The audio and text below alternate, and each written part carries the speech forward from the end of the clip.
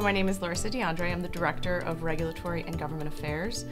Um, I've been at ResMed now just over three years. You know, the culture is one of my favorite things, to be honest with you. We've got great people here.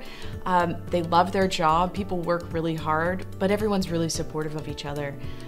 You know, the executive management team really puts a lot of effort into creating an environment where you not only have an opportunity to grow in your career, but you make close friends and really um, have fun while you're working.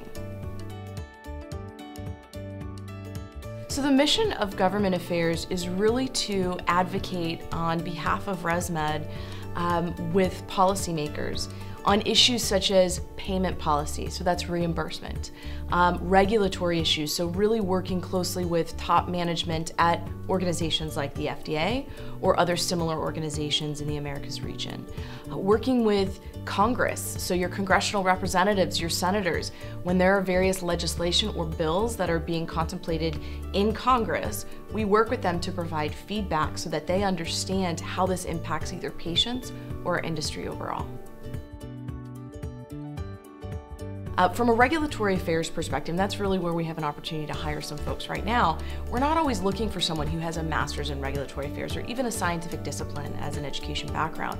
We really want those individuals who are able to critically think, understand the big picture, really work closely, so have good communication skills, so they can work closely across borders with our Australian team, with other teams around the world, with design and development engineers, um, marketing, commercials, commercial folks, and really understand that business.